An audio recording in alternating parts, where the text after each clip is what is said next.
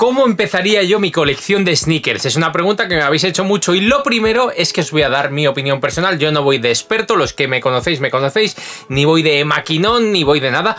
Os voy a dar simplemente mis consejos, lo que yo creo, lo que yo he aprendido en el tiempo que llevo y en los pares que he comprado, ¿vale? Que no son ni muchos ni son pocos, son los que son y me he gastado el dinero, ¿vale? Entonces, bueno, simplemente os voy a dar ciertos puntos que creo que os pueden ser de utilidad si estáis empezando y tenéis esa pregunta. Oye, quiero empezar a coleccionar zapas, a comprar tal, ¿qué hago? ¿Qué, qué debería hacer? ¿Vale? Lo primero también es que tengo esta luz, ¿vale? Porque está dando el reflejo y, y me cago en él. Pero bueno, vamos a empezar puntos. El más importante es que compres lo que te guste y no lo que esté de moda, lo que esté pegado, lo que lleva todo el mundo por Instagram o lo que llevan todos tus amigos en el cole. Está bien y yo puedo entender que tú quieras encajar, no lo sé, bueno, lo vamos a decir así, o que haya una moda y te mole. Es el rollo de la moda. O sea, al final todos nos influenciamos por ello. Pero tienes que comprar lo que te guste, porque si no, lo que va a pasar es que vas a comprar una zapatilla que dentro de X meses o año se va a quemar, como suele decirse, y no te va a gustar y la vas a tener muerta de asco y no te la vas a poner más. ¿Qué pasa, por ejemplo, cuando yo compraba las Jordan 1 y la gente, guau, cuando tal se quemen? ¿Qué pasa? Que me gusta tanto esta silueta que yo sigo comprando los últimos lanzamientos, porque aquí no las tengo ahora colocadas, pero es que me gustan, es que me gusta tanto la silueta que las voy a seguir comprando. Entonces, tienes que comprar lo que te guste. Parece una cosa tonta, pero de verdad, hazlo así y toda tu colección, habrá pares que te equivoques, que eso lo hablaremos ahora después, te gustará y te gustarán todas las zapatillas. Ya, entrando en el rollito de comprar, la idea o lo que yo te diría es que vayas despacio, vayas con calma, porque en los general release, en los lanzamientos generales normales, zapatillas que no son colaboraciones, muchas veces sale un colorway, sale un color y en X meses o un año, en una temporada a otra, vuelve a salir ese mismo color con toques diferentes, ¿vale? Te quiero decir, por ejemplo, lo que ha pasado con las Jordan 1 University Blue y las nuevas University Blue, que te voy a poner una foto porque las tengo guardadas, que ha pasado un plazo de unos dos años. Parece mucho, pero realmente no es tanto. En no sé, el tiempo pasa y vas comprando zapatillas en lo que a la colección se refiere. Cuando te das cuenta, te quiero decir que sale esta zapatilla, la vas a pagar en reventa súper cara. Cuando a lo mejor te gusta más la que acaba de salir ahora, ¿sabes? Que tiene un, es de cuero en vez de de ante. Es un ejemplo, pero pasa muchísimo pasa con la Lucky Green que ha salido este año, por ejemplo, que el año que viene va a salir, ya se ha filtrado una muy parecida, pero con el toe en verde, en otro tipo de verde, tal. Entonces, no te vuelvas loquísimo y si una zapatilla no te encanta, no te la compres porque dentro de poco saldrá otra sea New Balance, Jordan, yo hablo de Jordan porque por ejemplo es lo que más suelo comprar, ¿vale? Pero ya me entiendes, que son lanzamientos que son colores que van a ir cambiando poco a poco y vas a poder encontrar. Entonces no te lances a gastar mucho dinero porque irán saliendo cosas nuevas que te gusten más. Y siguiendo esto, antes de pagar reventa exagerada, aunque esto gracias a Dios haya cambiado respecto a otros años, o antes, no te voy a decir que no lo hagas, pero antes de pagar una reventa exagerada por una zapatilla, piénsatelo porque hay veces que también se hacen restocks. ¿Qué está pasando ahora con todo el tema de Yeezy? ¿Vale? Gente que tenía eh, las Azael o cosas así que costaban 700 euros y de repente, ¡pum!, vuelven a hacer restock y bajan a 200. Las Curry, las Low Curry, las New Balance 2002R. Entonces hay muchas zapatillas General Release, las colaboraciones que, que ellos sepan no pasa, no sé si me salto alguna, pero no suele pasar porque son ediciones mucho más limitadas, pero los lanzamientos habituales Tal vez muchas veces se hacen restocks o se varía muy poco y vuelve a salir. Entonces, antes de comprar una zapatilla medio antigua, muy cara, Piénsatelo porque puede haber muchas más opciones. No tengas miedo cuando compras zapatillas a equivocarte, ¿vale? Obviamente hay que tener mucha precaución dependiendo también de tu posición y de tu dinero.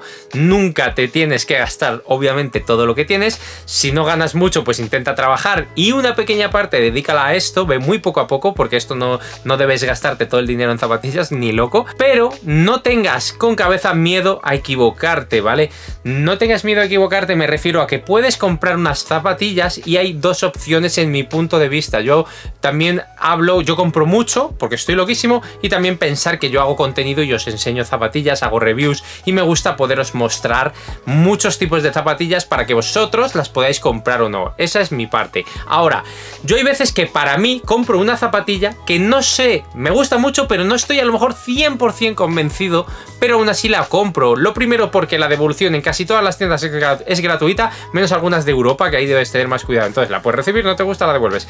Segundo punto es que la puedo dejar guardada durante X meses para ver si me la termino poniendo, si me termina gustando o si sale un color, como te he dicho en el punto anterior, como parecido que me guste más, que hay veces que me ha ocurrido eso, entonces tengo esa guardada, pues al final digo, vale, pues me gusta más esta, pum, esta la quito y la vendo o la cambio, que yo esa es la siguiente parte que puedes hacer, que todas esas zapatillas si son buenos lanzamientos, casi siempre van a subir un pelín y siempre podrás hacer cambios, ¿vale? Yo las Jordan 4, por ejemplo, que me ha pasado con alguna de ellas, las he utilizado para hacer cambios por algunas zapatillas más tochas, ¿vale?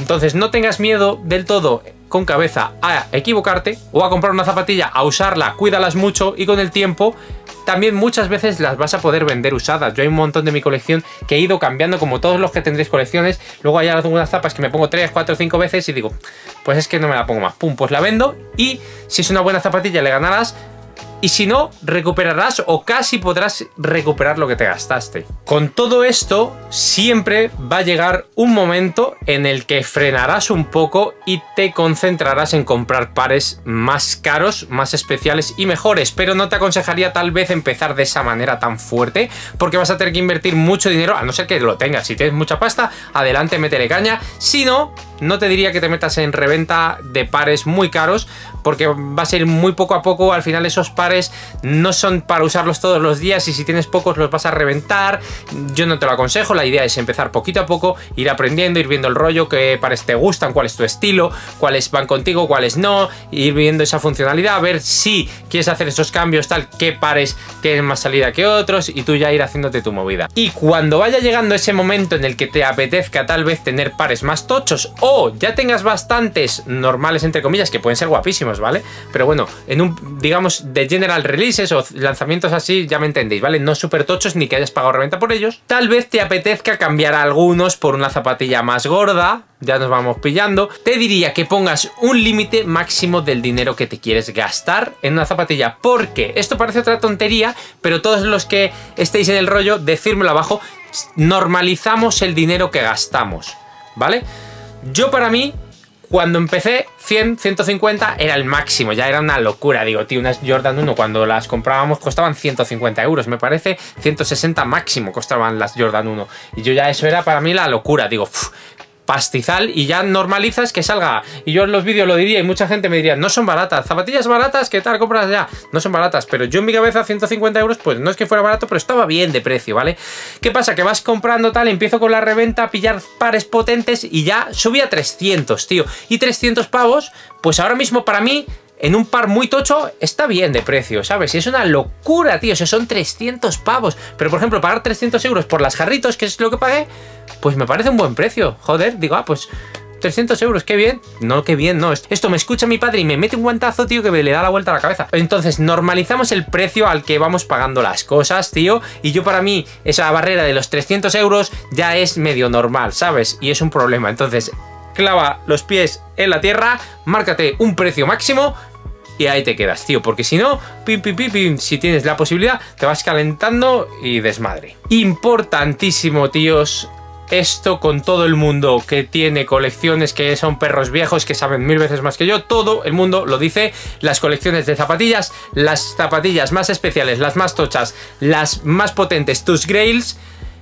llegan cuando tienen que llegar, llegan despacio y las oportunidades llegan sin prisas no corras si quieres una zapatilla, tío. A no ser que sea un lanzamiento que acaba de salir y tengas que comprarlo ya porque va a subir de precio. Eso es otra cosa. Pero una zapatilla que ya ha salido, que ya está en el mercado, que ya ha subido, ha bajado y está tal, no tengas prisa en comprarla sin brillar. Lo primero que te salga por Vinted y luego ver si es un fake o no, tal que cual. Tío, calma, hazme caso, que cuando te quieras dar cuenta métete con nosotros en nuestro grupo de Instagram que estamos haciendo, es que estamos haciendo un grupazo de calientes sneakers, una comunidad eh, full gente que nos mola las tapas, tío. Intentamos ayudarnos a conseguir zapatillas y cuando te quieras dar cuenta, pues alguien de repente vende esa zapatilla usada en muy buen estado, en tu talla, tío, y pillas una pedazo de oferta que no te lo puedes creer. Entonces, calma, tío, que todo llega. Yo así he comprado auténticos pepinos, los que me sigáis en el canal lo sabéis. He comprado, por ejemplo, la Smoka, que me llegó en una ocasión especial, pero con calma, tío. Yo, si lo hubiera querido, me hubiera tenido que gastar un pastizal y de repente pillé una oportunidad muy buena, me gasté mucho dinero, pero para lo que era y para lo que yo quería y significaba, pues me compensaba. Entonces, calma, tío, todo llega, Hazme caso. Una cosa importantísima, tío, en esto es que, y parece otra tontería máxima, es que te pongas tus zapatillas y que las disfrutes de verdad, tío. No las tengas para tenerlas en una estantería cerradas, con comillas. O sea, si tienes una Jordan 1 del 85, la Chicago, pues no te la pongas porque vas a destruirte en la, en la vitrina. Si tienes una cosa súper especial, firmada por no sé quién tal, ok.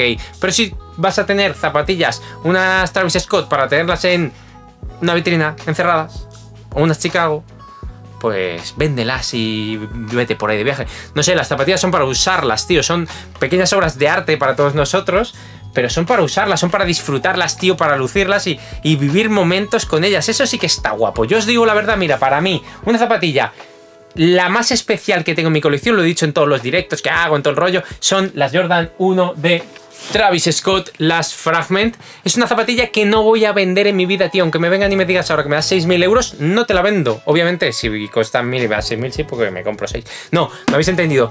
No la vendo porque es una zapatilla muy especial, que me encanta, es mi favorita de la colección. He vivido cosas muy potentes con esta zapatilla porque es tan especial que me la he puesto en ocasiones muy especiales y tiene una serie de recuerdos alrededor que aparte de esa zapatilla tan especial, pues tiene ese simbolismo para mí, no sé si me explico, y si os pasará a vosotros también, o la zapatilla que te pusiste cuando te casaste, o la zapatilla que te pusiste cuando nació tu hijo, yo qué sé, tío. Entonces son más que zapatillas para exponer, póntelas, disfrútalas, úsalas, que para eso son. Importantísimo, por favor, cuídalas, tío. Cuídalas mucho, límpialas bien. Intenta dentro de la locura protegerlas al máximo porque si te gusta coleccionar la idea es que estén lo mejor posible.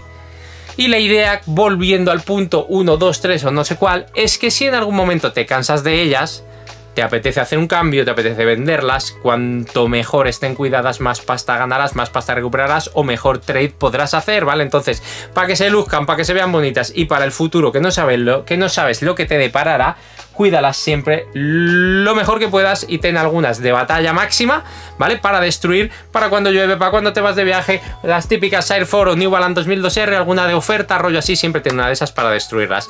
Amiguetes, yo creo que esta es un poco todos los consejos que te puedo dar.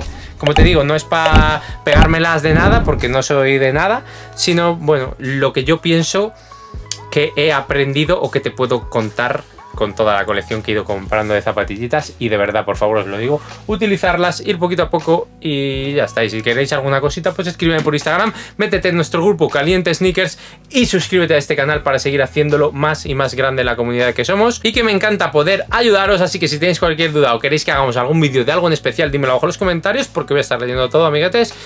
Espero que vayas con calma y que no te vuelvas tan enfermo como me volví yo, pero te va a pasar.